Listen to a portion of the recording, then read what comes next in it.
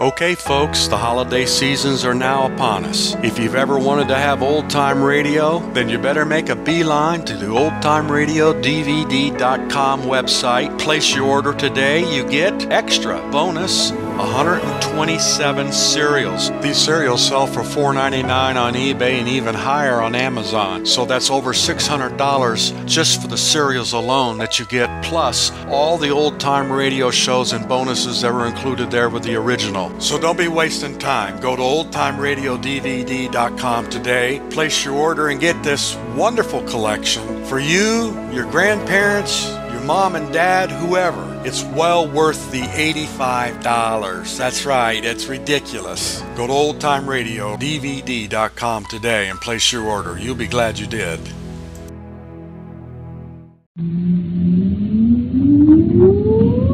Countdown for blast off.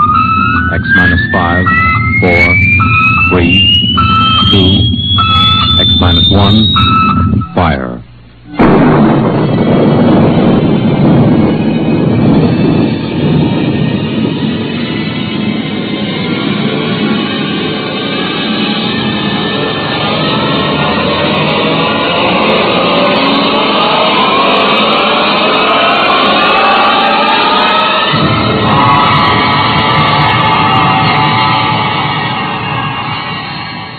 From the far horizons of the unknown come transcribed tales of new dimensions in time and space. These are stories of the future, adventures in which you'll live in a million could be years on a thousand maybe worlds. The National Broadcasting Company, in cooperation with Street and Smith, publishers of astounding science fiction, presents X X X minus one.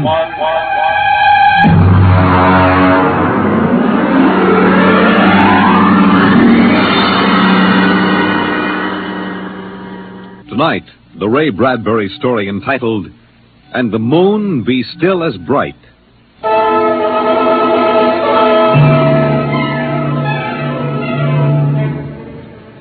The first three expeditions for Mars left Earth in a mushroom of flame, arced through the atmosphere, and finally dwindled to tiny specks in the big eye of the Mount Palomar telescope, and then were lost to sight forever.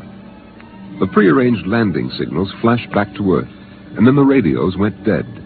One after the other, ships had disappeared and were never heard from again. But still the rockets came. The fourth expedition emerged from the silent gulfs of space, angled down toward the floating red disk of Mars, down into an orbit as the order came to land. The last blast of the bow jets broke red against the blue desert sands, and the ship slid to a halt at the edge of a vast city that reflected the icy glare of the moonlight. For a while, all was still. All right, Parkhill. Open the airlock. Aye, sir. Fresh air. Hey, it's cold out here. Who cares? We got here. I thought I'd never hit solid ground again. Hey, how about a fire, Captain Wilder? It's freezing. Later. We have work to do.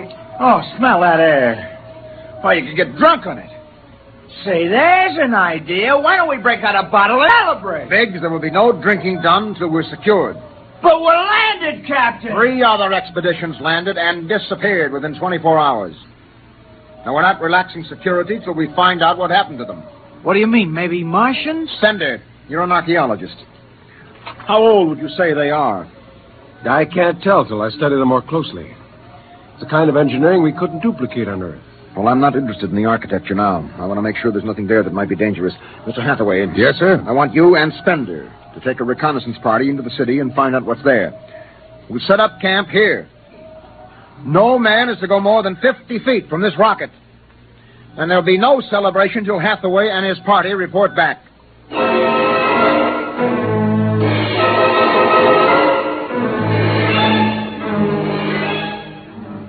In the sea bottoms, the wind stirred along faint vapors, and from the mountains, great stone visages looked upon the silvery rocket and the small fire. The sky was black overhead, as the two racing moons threw knife-edged double shadows on the desert. All right, come and get it. Ciao. Hey, what do you got these, Cherokee? Sawdust. smothered in cold chicken fat. Good. I thought it was something I couldn't eat. hey, Captain. Mr. Hathaway's back. Oh, Captain, Captain Wilder. Oh, yes, over here, Mr. Hathaway. Well? Most of the city's dead. Spender says it's been dead a good many thousand years, but we found one part about a mile over What about the... People were living in it last week, sir. People. Martians. Where are they now? Dead. We found bodies, thousands of bodies. They hadn't been dead more than ten days. What did they die of? You won't believe it. What killed them? Chicken pox. Chicken pox? Yes. Where could they get chicken pox? From Earth.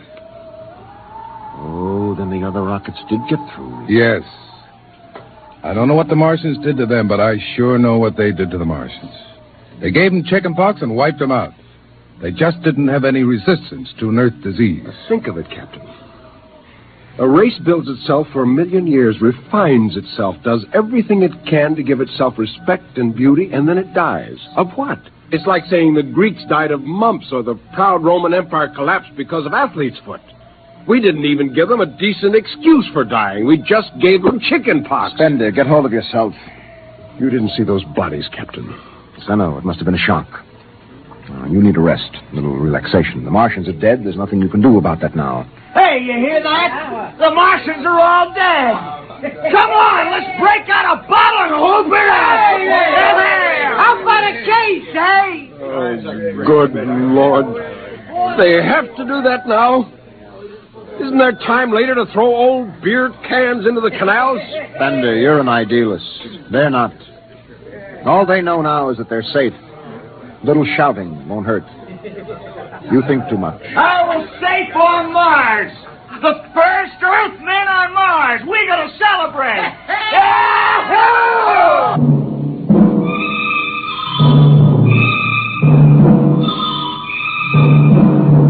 Twenty bottles were opened and drunk. The voices got louder. The earth laughs and shouts echoing across the empty Martian sands. Spender listened to the wind over his ears, cool and whispering. He felt the land getting cooler. The stars grew closer, very near. The air smelled clean and new. He looked at the cool ice of the white Martian buildings over there on the empty sea lands. oh, what a woman! Oh. Hey, what do we do with these empty bottles? Save them, stupid. There's a two cents deposit. Ah! them away! Hey, wait, wait. How about that building? Two to one on a buck, I can heave one right through that window. You're on. All right, here goes. Bullseye! Hey, double or nothing on the next shot. Put that bottle down, Biggs. Who's there, Mr. Spender? Stop smashing those windows. What's the difference? The planet's ours now. I guess I can do anything with it I want. Drop that bottle or I'll knock your teeth out. Yeah? Hey, just watch me. I warned you, Biggs. Come on, come on, come on. What's going on here? Spender! Spender! I hit him. He's crazy, Captain. He just walked up and slugged me. All right, Biggs. Spender, you come with me. Now, suppose you explain. What was the idea? The noise, the drunken brawl. Spender, the men are tired. This has been a long trip. And you have a different way of seeing things. No, I'm seeing things all right. I'm seeing how we'll ruin Mars. We'll rip it up and rip the skin off the way we've already ruined Earth. Is that why you hit Biggs? Yes. I couldn't stand the idea of them watching us make fools of ourselves. Them? The Martians. They're dead. They're all dead. But they know we're here. Doesn't an old thing always know when a new thing comes? We've come a long way to smash their windows and spit in their wine. Well, maybe you're right. But I'm still going to fine you $50 for that fight. Now, come on, Spender. Suck in your chin. We'll go back there and play happy.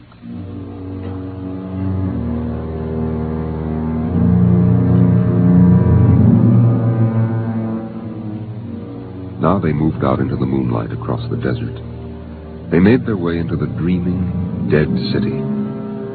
The light of the racing twin moons glinted on the barrel of a pistol, the long blade of a machete, the round, gurgling shape of a raised bottle. The wind blew in from the Dead Sea bottom and brushed through the silvery wire filigree of the towers. Strange music drifted down to the double shadowed streets, a thin, haunted music that played as it had played through the uncounted years of time. Nobody moved. The moons held and froze them. The wind beat slowly around them. Hey! Hey, you people in the city! Higgs, I just want to make a little noise. What kind of a celebration is this, anyway? come on. They built this city thousands of years ago. And now where are they? How did they die? Who cares? They're dead. That's good enough for me. Lord Byron. What? Lord Byron, a 19th century poet. He wrote a poem that fits this city. Might have been written by the last Martian poet. So we'll go no more a roving so late into the night. Though the heart be still as loving, though the moon be still as bright. For the sword outwears its sheath, and the soul outwears its breast. And the heart must pause to breathe, and love itself must rest. Though the night was made for loving, and the day returns too soon, yet we'll go no more a roving by the light of the moon.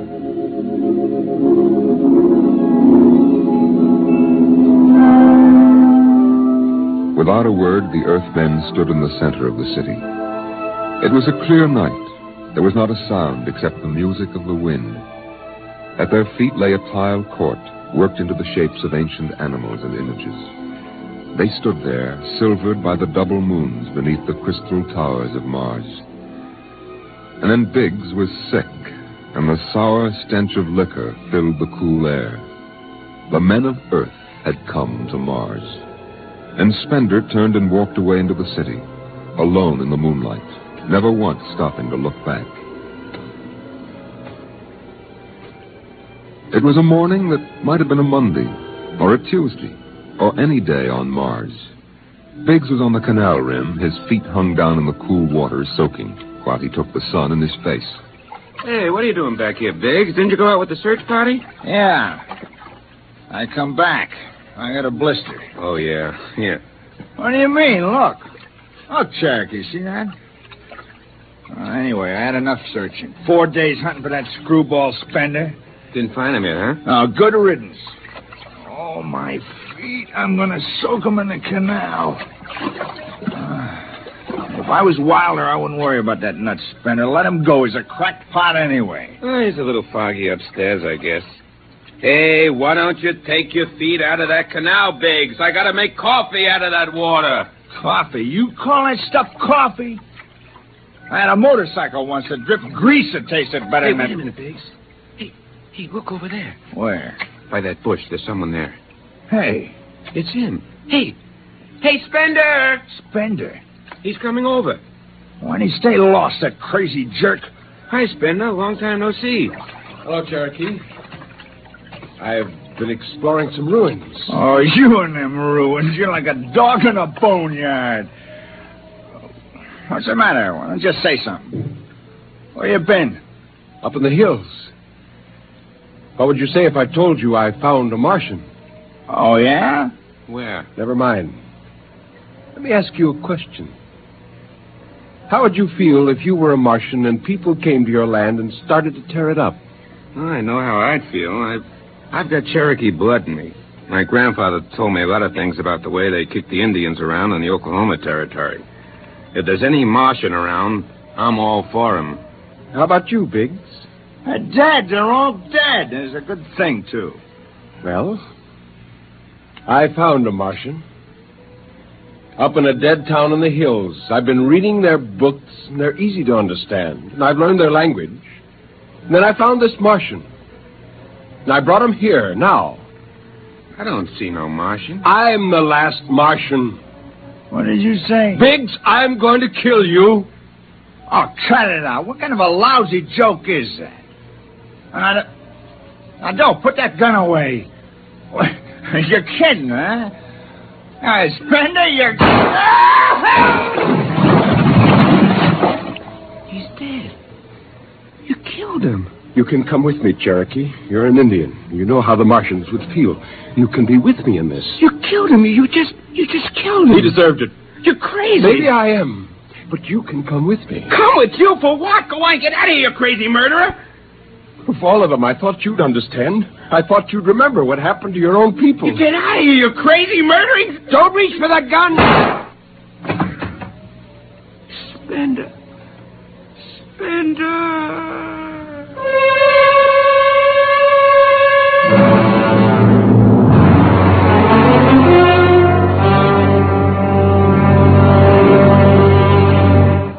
Hathaway, break out the arms locker. Issue pistols, rifles, and grenades. Yes, sir. And you'd better get the Bible out of the navigation chest. We have to bury these two. Now, Parkhill, you start digging a grave. Hmm? How about Spender? We'll have to go up in the hills and find him. Just let me at him with my bare hands, a crazy murdering louse. That's louse. enough, Parkhill. Man is sick. He must be. Sick my eye. He's That's a... enough. Now grab a shovel and start digging.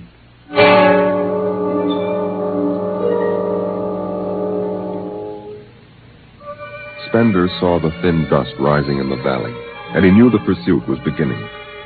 The sun burned farther up the sky, and the blue sand drifted lazily across the sea bottom below.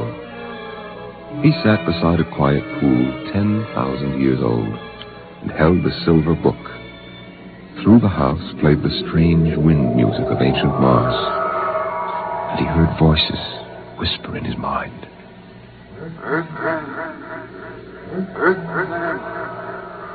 I hear you. I've always heard you. Even down there on Earth. No, I won't run. What's the use? Live, Earthman. Live, live, live, live. Live? What for? To see them tear down your temples and put up hot dog stands? Run, run, run, run. Run, run, run. Ah, They've seen me now. They know I'm up here. Live, live, live, live. There's Wilder now. I've got him right in my sights. Kill, kill, kill. Kill, kill, kill. Funny, he hasn't ordered them to use grenades. They could lob one right up here and blow me to bits. Yeah, maybe the captain thinks I'm too nice to be blown to bits. He wants my death to be clean. Just one bullet hole in me, nothing messy. And why? Because he understands me. Kill, kill, kill. The only one in the crew who ever did. Kill, kill, Well, at least I can do the same for him. Just one bullet in his head, a nice clean death. All I have to do is pull the trigger and then... It's no use. I can't do it to him. Spender! Spender! Can you hear me, Spender? I hear you, Captain. What do you want? Talk! Truce! All right. Come on up. Leave your gun down there. Keep your hands up.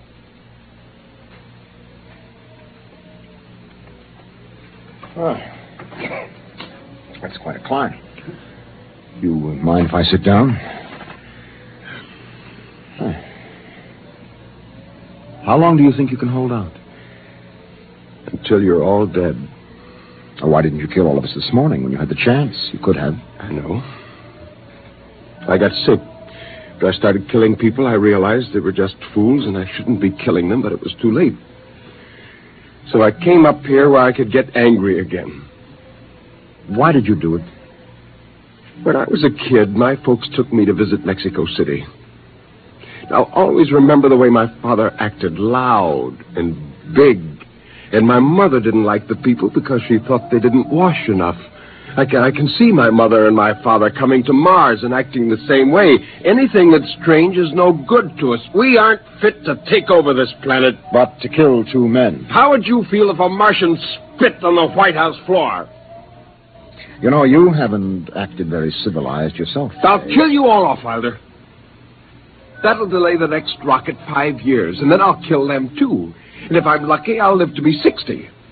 And I'll meet every expedition that lands on Mars. Oh, I'll be very friendly. I'll explain our rocket blew up one day. And then I'll kill them off.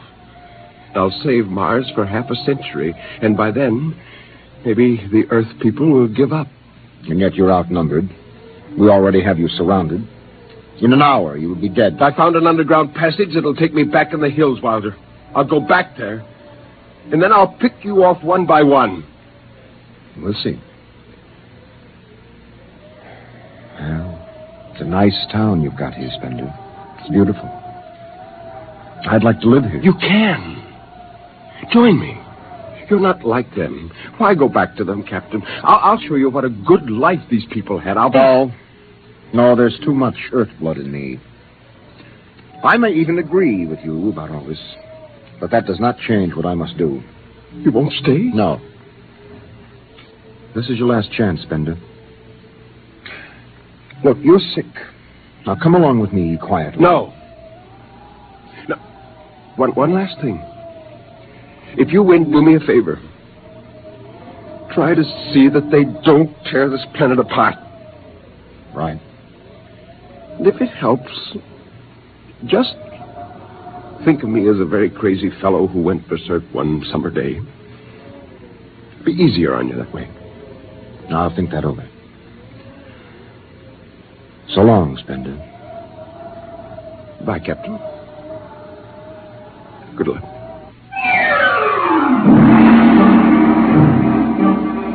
The men spread out again, walking and then running on the hot hillside places where there would be sudden cool grottos that smelled of moss, and sudden open blasting places that smelled of sun or stone. The men ran and ducked and ran and squatted in the shadows. I'll blow his brains Captain Wilder hugged the rock warmed by the sun. He gasped, for the air was thin and not meant for running. Spender lay at the top of the hill, and a gap in the rocks showed the white of his shirt against the shadows.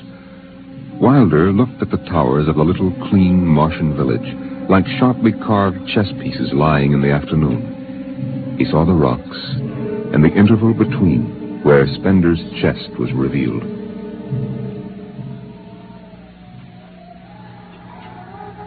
Go on, Spender. Get out. You've only got a few seconds to escape. Go on, get out of the caves. Come back later. You go now. I've got to win this. I've got to think that I'm right and pull this trigger. Go now. Get out. I'll get him! A slug in the head, I'll blow his bloody brains! No, Parkhill!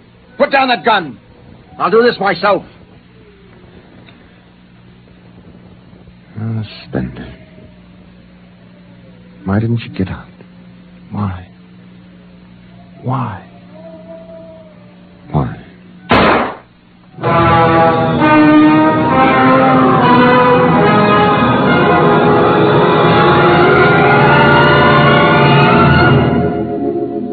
They buried him in that ancient valley town, where the music of the wind played on through the days and the nights.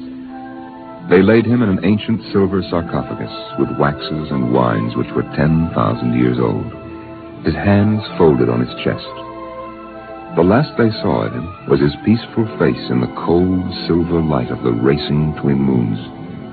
The captain found the poem in Spender's pocket, and he read it before he shut the marble door. So we'll go no more a roving so late into the night. Though the heart be still as loving, and the moon be still as bright. Though the night was made for loving, and the day returns too soon, yet we'll go no more a roving by the light of the moon.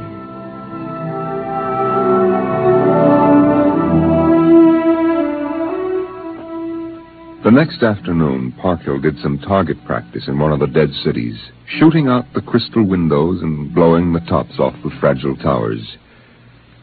Captain Wilder caught Parkhill and nearly knocked his teeth out.